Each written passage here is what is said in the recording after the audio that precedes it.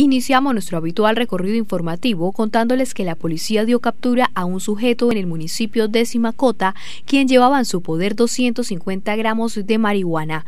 El hombre aprendido fue sindicado del delito de tráfico, fabricación o porte de estupefacientes y dejado en libertad. Un sujeto de los cuales eh, la comunidad sindica como uno de los peces gordos de la de distribución de, este estupefaciente marihuana, 250 gramos, los cuales fueron dejados a disposición de autoridad competente y previamente la judicialización con la Fiscalía.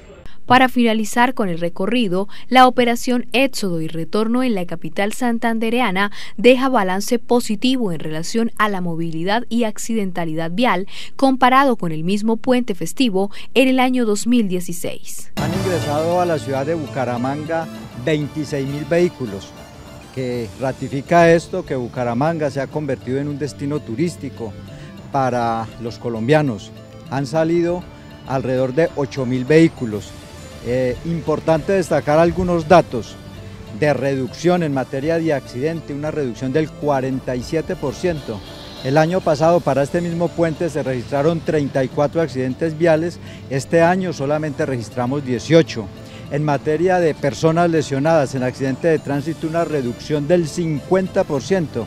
El año pasado registrábamos 44 personas lesionadas, en este puente 22 y en personas fallecidas, que es un dato muy importante, una reducción del 100%. Al momento no registramos ninguna persona muerta en accidente de tránsito.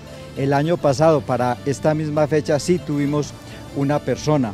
En materia de aplicación del Código Nacional de Tránsito, tenemos que se registraron 299 comparendos, 120 vehículos inmovilizados y Lamentablemente de estos comparendos 34 fueron por conducir en estado de embriaguez que corresponde también al mismo número de vehículos inmovilizados.